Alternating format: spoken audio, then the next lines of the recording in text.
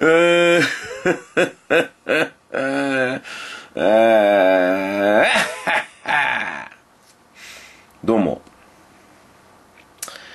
えー、うんこ、握り、うんこ、握りつぶし、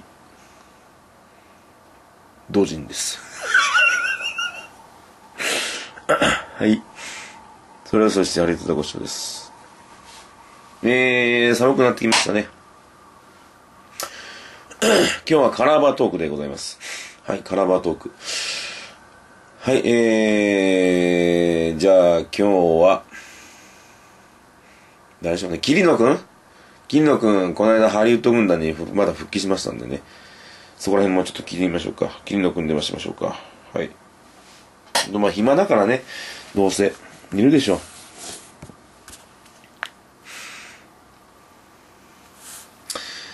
桐野、桐野。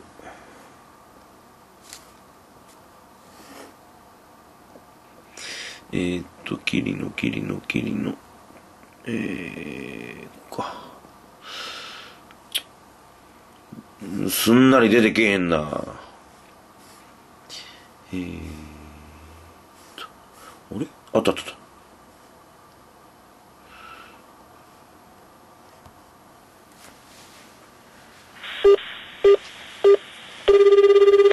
もしもし、あ、もしもし。お疲れ様でございます。何してたんだよ。いや、今ですか？今ちょうどあの、お風呂から上がったところで、あの、髪の毛をちょっと乾かしてましたね。芸人だろ？あ、あ、すっかり忘れておりました、今。え芸人のことは、お前自分が芸人のこと忘れんじゃねえよ。えいや、すっかりあの、お風呂で芸人っていうことも洗い流してしまってましたね。うまいこと言ったね、今。いや、うまいこと言えてないですけども。いや、もう、ここのところ、本当に調子悪くてダメですね。も何が調子悪いの？う。いや、ネタがもうダメですね。一個も、一個も面白くなんないで見たよ、なんか。すね。いやー、え？ツイッターでなんか写真あげてたな。いやー、もうあれひどかったです。いや、もう、今年一番ひどいネタかもしれないですね。あ、そんなひどいえーいや、本当にひどかったです。あのー、ちょっと自分で言うのもなんですけども。なん、どんなネタ？いや、その、インスタ映えっていう名のハエで、うん。その、なんていうか、映えますね、映えますね、つって出てきて、うんなんかいろんなこと言うんですけど、うん。あの、いかんせんもう、ちょっと漫談なんですけど、それがもう、本当におじさんが考えたような、おじさんの、本当に親戚のおじさんが考えたようなネタになっちゃったんですよ。そんで、まずいなと思って、これじゃあもう絶対落ちるわと思って、もうだから、その事務所ライブ前日とかもうほぼ寝てないですもんね。ああ、こうでもない、こうでもない、ダメだ、ダメだと思って、ずーっと直して直して直して、全然でも良くなんないんですよ。どうやってもおじさんの脳みそが考えたようなネタになっちゃって、うん。いや、どう、どうごまかすかなと、もうごまかす方にちょっとシフトをしてっちゃいまして、途中で。うん。そんで、とりあえずなんかあのーうんこを出し出さ出せばなんとかなるかなと思って、ちょっと途中でうん。妥協案で、あのー巻き嘘を作ろうと思いまして、うん。で、ちょうどあのネットで検索したら、あの、師匠の動画が出てきたんで、うん。でき、できちまうからですみたいなの。おあるよ。昔は、えー、あれを見ながら巻き草を作りましたけどね。うん。えー、お、それを使ったんだ。使っ、いや、それがですね、それを作って、うん。で、舞台上に置いたんですけれども、うん。もうテンパりすぎちゃって、あの、舞台上に置いたことすら忘れちゃって、うん。一回もいじらず終わっちゃいましたね。テンパりすぎた？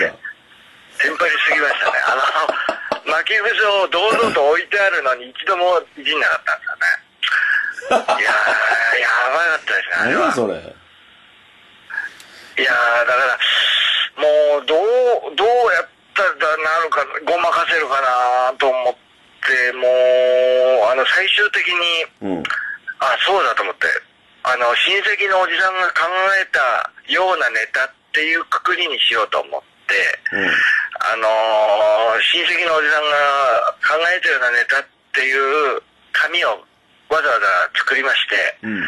それを舞台上に貼ったんですけど、うん。あのーもう意味がわかんないですよね。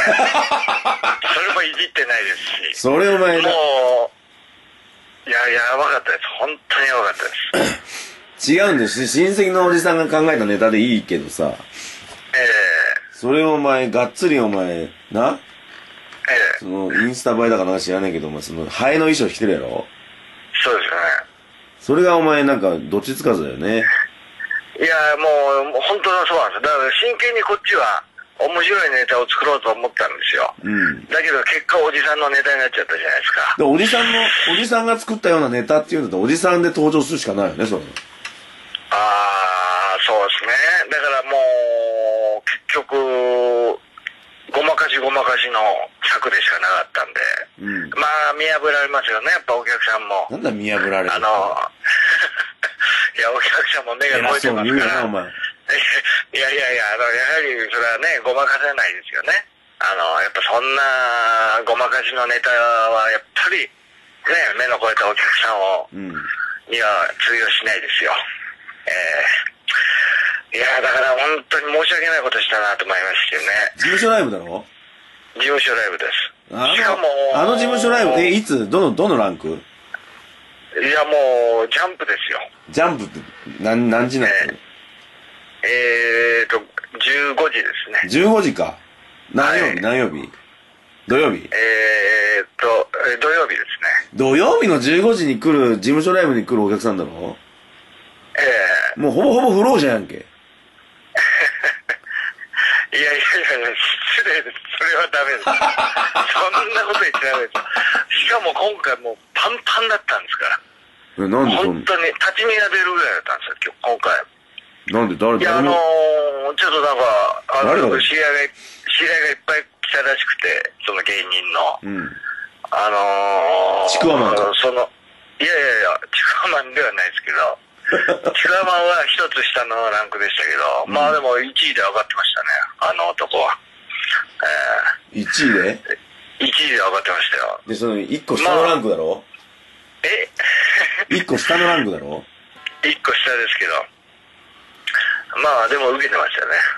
えー見たんだ。見ました見ました雨が雨降ってたんで外で練習しようかと思ったんですけどね、うんうん。あの一回外出てったんですけどうん。もうちょっと雨降ってきたし室内でちょっとやろうと思って、うん。えー、でまあチクワマンがどうチクワマンだけ見てくれって言われてたんでまあちょっと見に行きましたけど、えー、いやお前、の場合じゃないですよねお前のな ネタな、ネタがさ、えな？そんなお前ー、、え前、前日にそのなんだかんだっつってやってんだろ？ー、えー、ああでもない、こうでもないっつって。そうですねなんで前からそうやって考えてないの？お前。いやいや、これあのー言い訳になっちゃうんですけど、前から考えてはいたんですよ。うん。で、あと、要は、パーツパーツはもうできたと思ったんですね。うん。で、あと、メモってたものもありますから、うん。ああとこれを組み合わせるだけだと思いまして、うんえー、清書して組み合わせて、えー、もうバッチリだなっていう、ちょっと余裕を今月は持ってたんですよ、気持ちの上で。うん。で、いざ衣装ができて、じゃあこれ着て、一回これ着て通してみようかと思って、うん。えー家でちょっと一通りやったら、うん。あれあれって思って、うんこれ、あれ？全然面白くないなっていう話になっちゃったんですよ。衣装もだってつまんねえっけもんだって見たのお前写真。お前えー100均で全部揃えてたろ、お前。そうですね。100均で揃えてお前、よ500円ぐらいだな、あれ。5, 5個ぐらいしか使ってないから、お前。いやー、ほんとそうですね。いや、あとであのー、意外にあの、目が光るように細工したんで、光るのいらねえじゃん、そんな。あのー、前もなんか光るの作ってたけど、もうバカすべってたやねんか、お前。トータル1000円ぐらいかもしれないですね、でも。え、あの、インスタの棒とか、いろいろインスタの棒な？えで、光るギミックの使ったって受けねえだろ？いやー、そうですね。いや、いや、あそこだけ受けたんですよ、光るところだけ。光るとこだけ？要は、どんずべったじゃないですか。うん。どんずべって、ネタが終わって暗転するじゃないですか。うん。暗転した時に、あのーまあ、不本意ながら光ったんですよね。うんうん。そこだけ受けましたよね。それはもう笑われてんだよ。いや、もう、虚しいですね。笑われとんねん。いや、師匠。え？分かってますよ、そりゃ。失笑じゃねえかよ。失笑ですよ、ずっと。えー、もう、もう終わりですよ。終わり？いやー、で、これでなんかだから、ちょっとこの悪い空気を抜け出せないですね、ここのところ。ずーっとこの調子できちゃったんで、うん年末まで。うん。えー、だだからちょっとどうにかしないと。いや、どうにかね、してほしいとか言う、してほしいというか、してほしくないというか、あれなんですよ、こっちはなんで。ですか？師匠はあの僕が苦しんでる姿を。桐野安夫君のファンの人はもうみんなね、えー、頑張ってほしいって言う、言う、上辺では言ってんですけど、えあのー、嫌なことがあってほしいって思ってるんですよ、みんな。ー、いや、あのね、それだんだんうすうす感づいてきてるんですよね。あの、ツイッターとかでも、楽しいことつぶやいても誰もいいねしてくれないのに、うん不幸なことがあるとみんないいねしてくれるんですよね。もう、それで、ああ、そういうことなのかなと思い。で、今回、しかも、あの、1年ぶりぐらいにお客さんが来てくれたんですよ。うん。本当にお客さん僕呼べないんで。あれでしょ？あの、なんだっけ？あの、一応ノルマだよね、あれね。事務所なんですね。で、チケット買わされんじゃん。ええで、お前さ、ずっと売れ残ってんじゃん。チケットはね。はい。はい。で、家にさ、おせんべいのカンカンのさ、とこにさ、いや、ええ今まで売れ残ったチケットがいっぱい詰まってんでしょそうですね、チケット缶っていうやつですね。チケット缶、えーチケット缶が、もうパンパンで今、あのー缶が閉まらなくなってきたんで、わ、輪ゴムで止めてますね。うん。蓋が浮いちゃってもうダメですね。それ供養しようよ、今度じゃん。いや、だからこのチケット缶を、まあ、いつか燃やしたいですけどね。ただ、売れた時に燃やしたいですね、どうせなら。じゃあもう燃やすことねえじゃん。師匠、そえれを言ったら終わりですよ、もあ、その、ギャグ？それ。ねう。いえ？新しいギャグやギャグ、じゃないですよ。新しくないですよ、こんな。こんなもうね、つく使い古されたようなね、あの、どっかのおじさんが言うようなやつじゃないですか、それ。え。で、それ、それやってきゃいいじゃん。どっかのおじさんがやるような芸人になったらいいじゃん。そうですかね。だから、まあ、この間言ったじゃないかよ。いなんか、ダフンだ、バリンバリンみたいな感じのやつ作れよ、お前。あー、そうですね。確かにそうなんですよね。いや、だから今回ね、ちょっとその、インスタ映えもだいぶ、そういう系統ではあったとは思うんですけれども。いや、違うでしょ。いやー、なんかこう、なんていうんですかね、映える映えるとか、あのー、しくしく泣き出して、祝36みたいな、そういうちょっと本当にダジャレみたいなのが多くて。いや、ハエじゃん。ハエは、ちょっと、あれだよ。あの、ホラーチックでしょ？ホラーというか、なんか、その、あんまり、現実味を帯びてないじゃん、そのでっけえハエなんだから。ハエ男でしょ？確かに、確かにそうですね。でも、へ、面白、面白くないおじさんの、だだだ、あの、なんだろうね。変なおじさんみたいな感じでしょ、で言うたら。あー、なるほ志村けんの。ど。でもちょっと待ってください。変なおじさんみたいなので、ダフンダ的なのを作ったらもう、うんもうほぼ志村さんみたいになっちゃいますよね。で、それを変えるのがお前の仕事だろ。確かに。確かにそうですね。わからないように、わからないようにあれの良さを、ゆりとる？ええゆりとるさん。ゆりとるはなんかあったよね。あー、ありましたね、いろいろ。えー、これまた失礼いたしましたか。あ、それはあのー、ゆりとるさんじゃないですね。ああえー、植木仁植木仁さんですうん、ね。植木仁な。植木仁あるの。これまた失礼いたしました。っつうの。ザーッつうのやつ。いやー、そうですね。あれもでも面白いですけどね、やっぱりよくよく考えてみると。なんか団体芸っちゃ団体芸ですしね。お呼びでないってやつやろ？えー、いや、意外にあのー昔のその、あれですね、クレイジーキャッツさんの映画とか見ると面白いんですよね。えー、だからやっぱ、あれだけスターになられてるの、理由がわかりますよね。えで、お呼びでないじゃなくて何でしょうかね。ー、お呼びですか？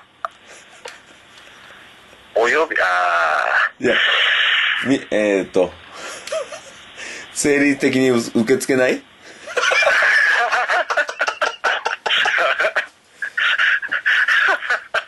人気がー、ない受。付は、うん人気がない。人気がない。人気がない。生理的に受け付けない。受け付けない？これまた、えじゃあどうしたら、ー、え？どうしたもんですかね？何やそれ。全然、言葉のパワーも全然ねえじゃん。じゃあどうしたの何やそれ。閉まらないですね。テレビ的に受け付けない？人気がない？じゃあどうしたらいいもんですかね 全然解決も何もしてねえじゃん。ふてくされて終わりです。いや、だからあれは、あれは良かったんだよ。あの、シットマンは。あー、確かにシットマンはなんか力が出ますよね。あの、シシットシットのあの、インベーダーゲ、インベーダーみたいな、あの、えー、右行ったり左行ったり、あれは良かったと思うよ。確かにそうなんですよね。あれだけやっぱエネルギッシュにやれると、なんかこっちもややった気にはなるんですよね。だからシットマンじゃなくて、それ、それギャグにしたらいいじゃん、普通に。あー、シットシット。あー。普通のおじさんがうん顔を歪ませて、うん。いうわけですか なるほど。うーん。そうですね。いやー、いろいろ悩みますね、もう。いや、でも、でも、シットマンもう一回見たいね。シットマンですか？確かにシットマンの衣装は3シーズンぐらいもうできてますけどね。3シーズンってお前気持ち悪いやつやろ？なんか変な。どんどんどんどん進化はしてるんですよ、衣装が。いや衣装に、い一発目が一番良かったけどな。そうですね。一発目以外全部滑ってんですよね。二発目だってあの、電飾入れましたからね。おうおう。電飾面白かったけどね。俺は好きだったけどな、電飾。電飾入れて、だいぶあの、いろいろお金かけてから。全く受けなくなっちゃった。いやいや、だから昔からやっぱ言うんですよね。あのー小道具で7000以上かかると、うん滑るっていう僕の中のジンクスがあるんですけど、なんだ？そうなんですよ。これにもうまさにシットマンが当てはまっちゃって、うん。えー、なんか、いくらかけたの？いや、だからあの、電飾のやつはもう、多分7000以上いってますよね。下手したらまあ、まあでも、ギギリギリ8000ぐらいかもしれないですね。8000もかけたんだね、あれ。意外に電飾と、であと上の、えー衣装と、うんマント代とか、まあ、もろもろ考えると、多分それぐらいいってるかもしれないですね。おー、でもまあ、シットマンよ、よかったよな。ああ、じっとじっと。あれはよかったよまあたまに、師匠真似してくれてますもんね、あれ。うんたまに。あれは良かったけどね。あれに続くな、あれやつは一個も出てないってこと？そうっすね。ああ、でも最近あの、フェロモンタっていうのが出てきましたね。フェロモンタ、フェロモンタはちょっと化ける可能性あるかもしれないですね。どんなやつなんですか？もう全部、奥さん、奥さん、フェロモン出してますかっていう口調で、うん。何でもかんでも、その、なんていうんですかね、あたり構わず全員奥さんにしてしまって、うん。あのーフェロモンを、まあでもこれもまあルールがしっかりしてなきゃしっかりしてないけどね。ただ、ただフェロモンって叫ぶだけのわけだなって。うんえー、もうダメっすね。なんか、惜しいけどね。えー、なんとなく惜しいけどね。フェロモンただちょっとでもなんか、なんとかもう少し生き返らせたいですね。いや、お前さ、なんか、今まで全部作ったやつあんじゃん。なんか。ええそれのなんか決め台詞的なやつに全部あるんでしょ？一応。そうですね。それ全部、全部詰め込んだら？決め台詞だけ。決め台詞全部吸い込むんですか？うん。ただもう一個も、一個も跳ねなかったですからね。で全部、だから、えめんどくせえ、あの、やつ、めんどくせえネタがあって、えで、決め台詞を言うじゃない。ええであれ、めんどくせえネタが全然一個もつまんねえから。で、シットマンの、ああ、じっとじっとじっとじっとっていうのはすすげえ面白いじゃん。ええで、その嫉妬のくだりが、嫉妬の、あの、ネタ、嫉妬のネタが全然面白くないじゃん。そうですね。だって、バレンタインデー、バレンタインの日に、あの、チョコをもらえなかった私は嫉妬に狂い、狂いに狂ってこうなったっつって、嫉妬嫉妬嫉妬って言うじゃん。そうですね。もうその前工場が本当におじさんの考えそうな前工場ですからね。うん。いや、でもそれやっぱ師匠に言われて気がつきましたもんね。ええそうだねお前この前工場全部おじさんの脳みそが考えたようなネタじゃねえかってうん。言ってようやくそれで、ああ、そうだってことに気がついて。そう考えると全部もう、あれですよね。センスのかけらもないですもんね、あの。いや、だから、嫉妬、あの、嫉妬のギャグは面白いだよね。ええあの、横にガーって、あれ、気違い、気違いみたいな感じだから。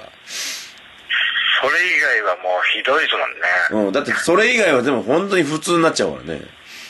そこも面白きゃいいだけどね。そうなんですよね。あれも、そこが面白かったら、下手したら化けるかもしれないですよね。うん。そこがもうの、ゼロ笑いで行くわけじゃない。そう、ゼロ笑いだよ。だってあれ、嫉妬っつって友達が高い時計買った、おお、嫉妬ですからね。ただそれだけですもんね。そうだよ。超つまんねえよな、それな。いや、考えてみたら。だって、あの、中学生でも作りそうなネタやん、それ。考えてみたら、ほんとひどいですよね。ほんとひどいよ。友達が高い時計買ったって、うー、嫉妬嫉妬嫉妬ってなんだそれ。超つまんねえ。なんの、なんのあれもないですもんね。うん、何のひねりもねえもんな、それな。何のひねりもないですもんね。いや、だからこれをある種、み、まあ、だから、2、3週すると面白いんですけどね。ひねってねえじゃねえかよっていう。ただこれを、初見の人とかも、ねやっぱり普通にストレートに楽しみたい人からしたら、本当にひどいネタですよね。だから本当にストレートに楽しみたい人は、あの、嫉妬の部分、ええあれを3分間ずっとやってほしいけどね。いや、ストレートの人は多分あれも気に入らないと思います。あんなおじさんがただ叫んでるだけではね、さすがに成立しないですよね。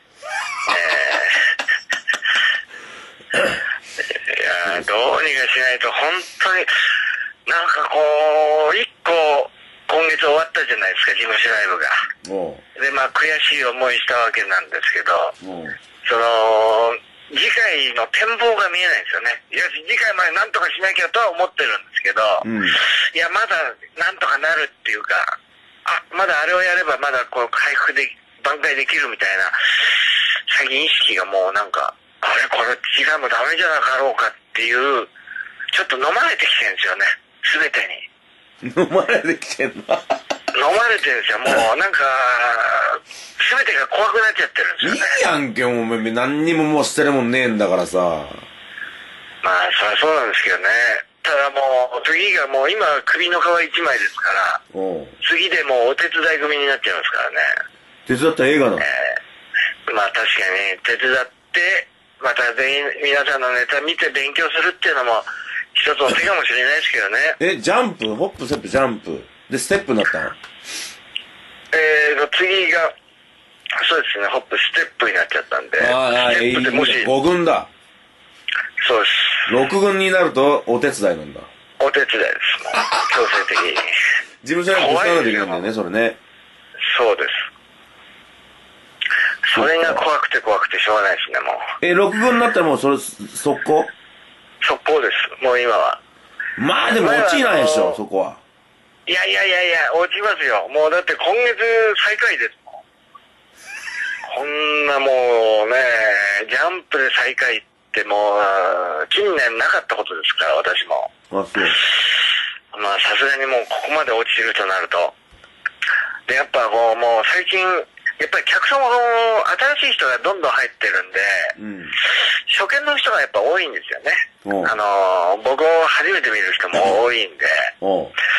でやっぱそういう人にと、そういう人たちがやっぱこう慣れるまでの、なんか僕、まあ師匠も経験されてると思いますけども、我々やはりこの、出てきた時にちょっと不快感を感じる人中にはいるじゃないですか。中にあって全員そうだろ、お前。あの、あの、うつむいてうん、ため息をする方とかも多いじゃないですか。うん。えー最近またちょっとそういうのが増えてきたんで、おうああ、だからなんとかそういう人たちに早く面白さを伝えなきゃいけないなと思ってるんですけど、それを伝えられないままどんどん今、あの、落ちてってますね。じゃあもうあれだ、テロリストネタするしかねえな。それ毎回言いますけど、うん。このご時世やったら終わりなんですよ。そんなことをしては。ダメなんですよ。いや、だからコートにな、コートで来て、えな、ええ。で、えーあん名店だったら、えー、ツタツタっと来てさ、センターマイク出しといて、ええ。で、あの、真ん中にセンターマイク前に来たら、バーってコート、あのー、あの、はだ、はだけんのよ。ええそしたらもう体中に爆弾巻いてて、今からお前を 爆発させるぞーっつって。笑わねえと爆発させるぞーっつって。こうやってやればいいと。わ笑わねえと爆発。笑わねえと爆発、爆発させるって、でもちょっと面白いですけどね。それ面白いじゃん、やれや。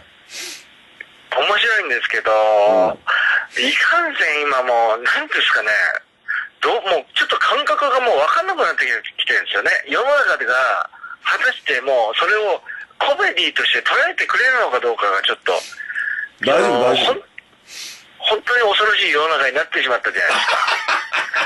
いやー、だって昔は、なんか、死に落ちとかも、すっごい僕は好きで、あの、死に落ちをよくやってたんですけど、夫。うん。最近やっぱ人が本当に亡くなるじゃないですか。うん。その予想外のことで亡くなること多いじゃないですか。うん変な展開で。だからなんかこう、そういうのがありえないっていう意識がもうなくなってきてるんですよね、お客さんの中に。ありえないからとつ、ありえない死に方をするから笑えたんですけど、どんな死に方もなんかもう今ありえるじゃないですか。あり得るってこと？えー、だから、ちょっとそれが怖いです。あのあり得る死に方を、あり、あ、これあり得るなってし想像させるような、ゆるいんだよ、それ。もう想像、あれこれありえねえなっていう想像で死んだらいい。なるほど。想定内なんだ、みんな。想定内、うん。想定内のことをしたらあかんのだよ、だから。そうですね、確かに。うん。分かった。そうですね。だから、あの、せん、せん、あの、名店飛び出しで、えあの、あの、肛門をですね、えええあの、真ん中に立って肛門をお客さんに向けてですね、いきなりクソをぶっかけるっていう。無言で。想定外ですよ。いやいや、申し訳ないですけど、それネタじゃないですよ。それは、それはテロです。それもあるよ。だって、お客さんはネタを言いに来てるんですよね。うん。お金がなくて、客客席に座って、うん突然おじさんが小走りで走って、うん向けてクソぶっかける。それはもう、それはテロですよ、それは。ええさすがにダメですよ。さすがにダメか。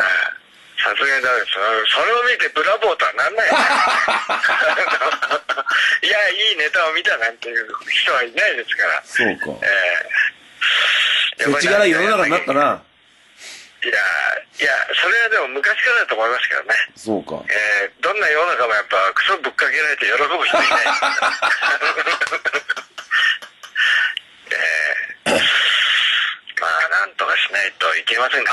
師匠、あのさっきのお話はまだオフレコなんですか？あ、ダメダメだ。言っちゃダメだ、まだ。あ、わかりました。うん。うんはい、というわけで、まあいいや。頑張ってくれよ。わかりました。うんすいません、なんかもう、うんい。やー、頑頑張るしかないですね。もうここが踏ん張りどころですよ。でうんこ、まあ、うんこのネタやるってこと踏ん張りどころっていうこと。肛門、肛門を、あの、お客さんに向けて、ええで、ぶ、クソぶっかけのネタやるってこと？踏ん張りどころっていうことや。師匠、それはネタじゃないですよ。ええ師匠も、あの、一応、キングになられてるわけですから。ピンネタの頂点に一度立ってるわけですから、うんわかるとは思いますけれども、うんそれは、あの、ネタではないですね。ええアクシデントです、ね。はい。そうか。そうです。わかる。でもまあね、それはもしかしたら受けるかもしれないよね。あの、後方の人は受けると思いますよ。後方の人は、無害の人たちは受けると思います。前列はもうた、た、たまったもんじゃ前ない。列はもうたまったもんじゃないですか。その、汁が飛んじゃった人はもう完全に、怒り浸透ですよ。でも、後ろの人はやっぱりとんでもないものをアクセントに入れたって、ホクホク顔で帰れるでしょうね、そりゃ。こりゃ伝説を見たぞってなりますよ。ああ、それは俺見たいね。俺は、お、あの、奥、奥で見たいね。ホクホク顔で帰るよね、それはね。ただ、意外やっぱあの、密室空間ですからね、匂いは相当充満するでしょうね。えうん。ー、まあ、とにかく、師匠、じゃあ頑張ります、私。おえー頑張ってよ。うん。はい。また、ちょっと、どういうネタ、お 思いついたか、聞くから。はい。うん。ああ、そうだ。こんな、あの、あれ行きたかったですね。高尾さん行きたかったですね、師匠。だから行きゃいいじゃん、まあ、今度。まあちょっと様子を見て、また、あの、いや、じゃあじゃあもう、恐山行こうや、恐山。恐れてたんですか？うん。ああ、でもいいかもしれないですね。いいんかいいや、なんか、なんかよ、パワースポットなんじゃないですかね、逆に。あ、そうなの？ええ分かった、じゃあ恐山行こうや。あ、よろしくお願いします。うん。まあ、撮影はできないかもしれないですけどね。やっぱ、ああいう場所ですから。ああ、えあのー、亡霊出ちゃって出ちゃってしょうがないえ。亡霊出ちゃう可能性もありますしね。ええ映り込んじゃうかもしれない。嫌だな、ほんとな。YouTube 上げたらもう、画面、画面いっぱいに亡霊で出ちゃってしょうがないって言ったら嫌だな。まあ、出るんだったらまだマシかもしれないですね。真っ黒で何も映ってないパターンもありまあすから、ね。、そういうパターンもあんだ。ええそれは真っ黒で何も映ってないっていうが、よく見たらうんこだったっていう感じしない。だとしたら誰か原因を作った人がいますからね。レンズに向けてかけてる人がいますから。まあいいや、頑張ってくれよ。はい、また連絡す。するから。はい、ありがとうございます。はい。では、すいません。失礼しました。はい、というわけで、えー、世知辛いですね。